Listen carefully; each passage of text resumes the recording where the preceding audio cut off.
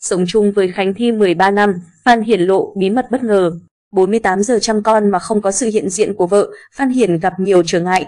Mẹ vắng nhà, ba là siêu nhân mùa 2 chính thức trở lại trên sóng HTV7, đài truyền hình thành phố Hồ Chí Minh. Trong tập 1 có sự tham gia của gia đình Phan Hiển, Khánh Thi. Cả hai đã gắn bó bên nhau 13 năm, cùng trải qua nhiều cung bậc cảm xúc trong công việc lẫn cuộc sống và có với nhau hai nhóc thì đáng yêu, Kubi và Anna. Vào tháng 12 năm 2022, Phan Hiển, Khánh Thi tổ chức lễ cưới sau 13 năm chung sống khiến nhiều người vỡ òa vì chuyện tình đẹp như cổ tích. Chính vì độ nổi tiếng, đời sống thường ngày của Phan Hiển, Khánh Thi cũng được khán giả tò mò không kém.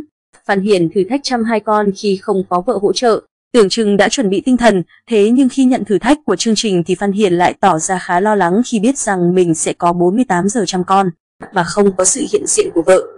Khác với sự hoang mang của Phan Hiển, bà xã Khánh Thi gật đầu đồng ý không do dự. Bé trai đầu lòng Minh Cường, tên thân mật là Kobe, đã có một phát biểu khiến cho mẹ mát lòng mát dạ.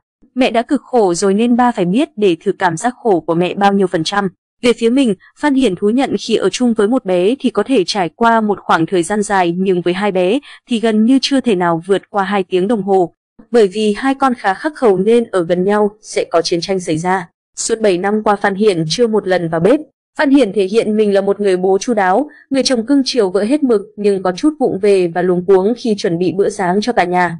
Vì đã 7 năm kể từ lúc con trai đầu lòng ra đời, anh chưa vào bếp. Sự nhớ nhớ quên quên của Phan Hiển khiến cho cả nhà được phen cười ra nước mắt. Chia sẻ với chúng tôi, Khánh Thi cho biết cô hiện mang thai ở tháng thứ 4 của thai kỳ. Cô cho hay hiện tại bụng bầu chưa lớn nhưng ôm nghén khá nặng, ngoại trừ việc bị nghén, mọi thứ còn lại vẫn bình thường, có điều vất vả là hiện tại Khánh Thi đang lo giải thi đấu mới.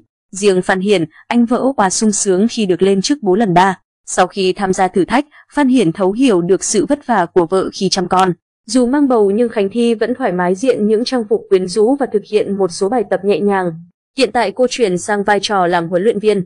Cả hai từng gặp nhiều sóng gió dư luận khi công khai tình cảm do khoảng cách tuổi tác, nhưng họ cho biết luôn bền chặt, hạnh phúc.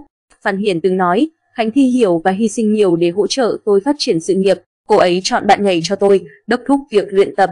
Những điều đó khiến tôi thấy xúc động và trân trọng mối quan hệ của cả hai.